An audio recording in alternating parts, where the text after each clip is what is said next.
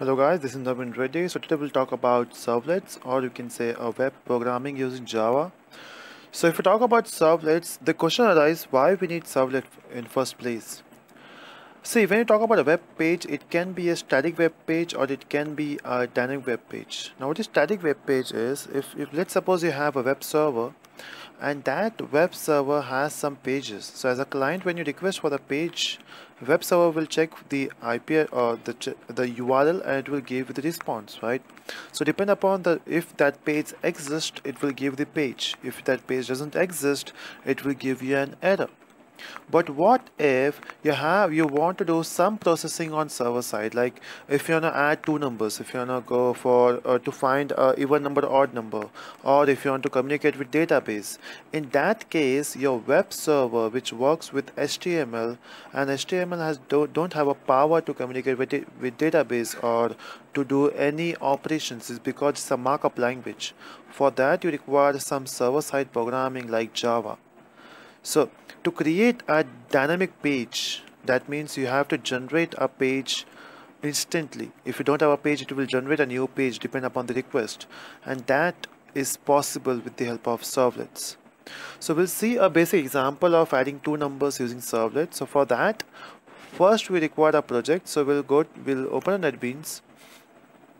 Make sure you have at least one of the server or Glassfish or Apache. So when you go to server, you can see I have uh, I have two Apache and two Glassfish because I'm working with two different NetBeans IDE. One is NetBeans 8.0, second is NetBeans 8.0.1. So with those two NetBeans, I have two uh, servers. We'll use one of them. Okay. So for that, uh, let's get a new project. Again, in this, we'll be having option of uh, Java Web uh, or Java application. So this time we have to go for Java Web then we'll say next uh, we'll give this project name as serve demo. Then we'll say next and here we have to select one of the server. Okay. Now this time uh, since Apache is more famous we'll go for Apache Tomcat. And yeah so latest version of uh, EE and we'll say next and then uh, these are the frameworks which are available but time being we are as we are starting we'll not go for any framework we'll go for simple web application and we'll say finish. Now once you click on finish uh, this is your project and this page which is index.html is your uh, you can say a default page or a home page right?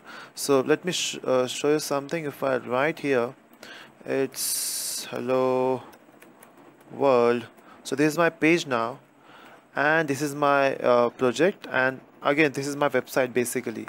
So if I go to my website and it will say enter which is mean run it will call this page which is home page. So again for I'm running uh, this for the first time. It will take some time for deployment. Uh, okay. And the output is hello world right? So this is your uh, this is your IP address which is uh, the same machine so localhost. This is the port number of your server. Uh, for Apache Tomcat it is 8. Point, uh, sorry 8084 and then this is your project name which also serves as your uh, website name. And then we are calling a page called as index.html so enter. So it will give the same page. If you don't write this content still it will give the same page because that's your home page right? Now we don't want this thing. What we want is we have to ask uh, we, we will send two numbers to server. Server will add those two numbers and will give me the feed uh, response right? For that what we need is first we need here uh, we need to ask user to enter two numbers. That is uh, uh, first number and second number. For that you say enter first number and we'll say input okay for text field in HTML you have something called as type text and then we have to provide a name. For time it will say name is t1 and then we require a break statement here so we'll say br okay. We'll say enter second number. And then we'll again we'll say input type text and we'll provide a name as yeah right guess is to t2 and then we require a button also so we'll say br and we require a button on which when i click on this button it will say add. So we'll say input type uh, this should be submit and then we'll say uh, value the visible content it should be like uh, add. Okay now if I run this code uh, let, let me run this. Uh, so again I can run the whole project or I can run the uh, one file. I don't need this header head, headers so we'll say remove to make it more simple. And then let me say run.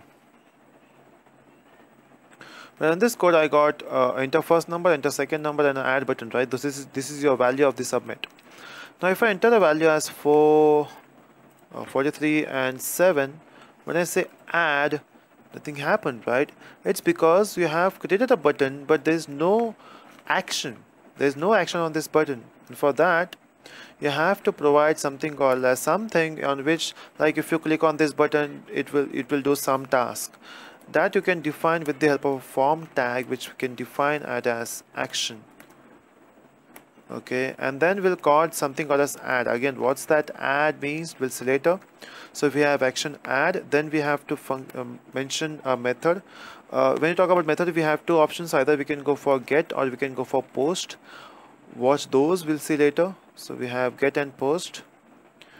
And then we have to close this form tag.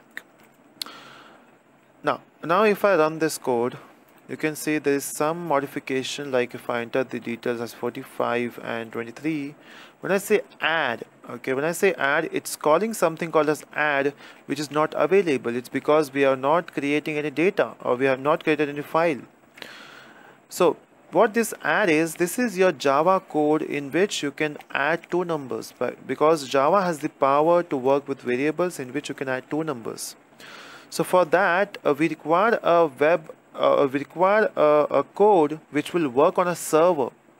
Now, if we talk about a server, it, it will not work with JVM. It will work on some server, some uh, web server or app server. Now, if we talk about those type of servers, one of them is Tomcat. So we have to use Java on Tomcat. So if you talk about those technology where you can work with Java on web server or app server, you need something called as servlets. So servlets are the web component which works, which resides on server, which executes on server and which gives output on client machine. So to do that, we have to right click on your project and we'll say new servlet. Now you have to give a name to a servlet. We'll give add because we are calling add from our HTML code. And then we'll say next. Here you have two options. Either you can tick, tick mark it or you can skip this. Now, if you give a tick mark here, it will add the entry of your servlet into a file called as web.xml, which defines the underlying servlets, underlying classes are the servlets, right? So we'll say finish. We are not checking this part. Now, since we are not checking it, we need to mention somewhere that the below class is a servlet and for that we have to use something called as annotations and annotation here is its web servlet. So your web servlet here is an annotation which defines this add class is a servlet. So whenever a user requests a add page that means you can see the output. We are requesting a add right? A slash add. It will call this servlet. Okay. Now uh, then what next? Uh, we'll remove this text again let let me just uh, remove this remaining part we'll say a default class we'll say a class and we'll remove this package I want this package to become automatically so remove delete now what we have is we have a class add now this class is not a normal class. We have to convert this into a servlet. For that we have to mention it as it extends HTTP servlet. It means it will fetch important features of a servlet to this add class. And since uh, when you talk about a, a, web server it will have a web container. Now web container should know which uh, which servlet the user is asking for. And for that you have to mention this annotation. Now since we are using with uh, we are working with inbuilt classes we have to import packages. How to import package? You can click on this error and then there will be option of add import. So you have to click on this add import here same goes for this. You have to say add import. Other way around you can go with your keyboard shortcuts and the keyboard short for uh, keyboard shortcut for this import packages is control shift I. Now now since uh, as a user you have to call this add servlet. Now this add servlet will provide you some service and that's why when you say you're, you are working with something or your servlet works or it does something everything uh, in Java when you say does something we have to use something called as methods. And the method here will be called as service.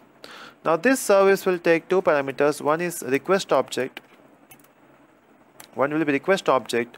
What time bin will say it is as req and second will be response object. So it will be servlet uh, response and we'll say it is as res now now if we talk about a servlet it goes in many uh, different types. The first one was a servlet which was an interface. Uh, then it then we had a generic servlet which is the abstract class. Then we have this http servlet and then you have created your own servlet. In all these transac transitions uh, fr from serv service we have to use some new methods okay now service and those methods work in the same way. So time being will start will go with service then we'll convert this service into some other method. Now now uh, we have this object called as request. So when a user sends you a request it will send all its details in this object. Now as a, as a server when you send details or response to your client you have to send all the details in response object now our first task is to take input from user right? And again we'll store that data in a variable. So we'll say int i. Now if you say int i you have to take input from user in which a user is entering data in this field called as t1 so in any way we have to fetch data from t1 right? And this t1 will be enclosed in this request object. So that's why we have to say it's request dot get parameter from t1 now the problem is when you say get parameter it will give you a string type of data. What we want is an integer right? So we have to convert this into integer dot parseInt and we need a j variable also. So we'll say copy and paste. This time it should be j. And we'll say it is as t2 now what next? Uh, we have to add these two numbers. So we'll say int k equal to i plus j uh, oh, j. Now now we have to send this detail which is k to a client machine. When you say client machine client should have a software where you can print this data. And those client softwares are called as web browsers now question arises how to create a web page? It's very simple. If you want, if you want to create a web page you just have to open a notepad. You just have to open a notepad. And you have to now let's imagine I want to create a web page in which I have only I want to show hello. That's it. So you, what you will say is you have to type HTML codes like HTML open HTML close. But unfortunately if you just type hello and save this in on desktop as uh, demo.html and if you say save and just need to open with a browser. So we'll say uh, we can go for any browser. Yeah let's go for Chrome. You can see there is no HTML tag included in this file but still we are getting hello again now we have to make it bold so we we have to use tags right? So that tags is just give you some fancy layout to your text that's it.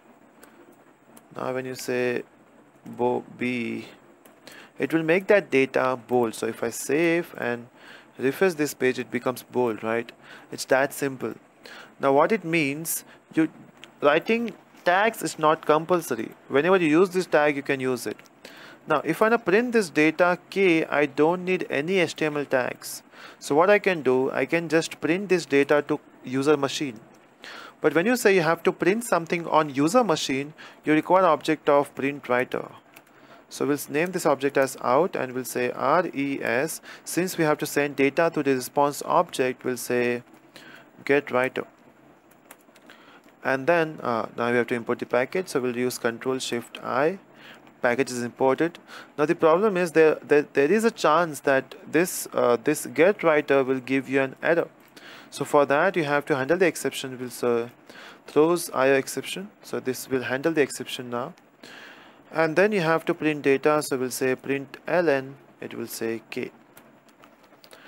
That's it. So when you say when you run this file it will call uh, add servlet by passing two values t1 and t2 and then it, this add will uh, get these details and it will add these two numbers and it will print it. So let me try let me run this code now. Run. Let me add two numbers it's 89 and 67 and addition addition is it's 156 right? It's so simple right? Okay. So this is your first servlet code I hope you uh, you got some details about servlet. Uh, we'll continue with the topic in my next video. Uh, do subscribe for the further videos. Thank you so much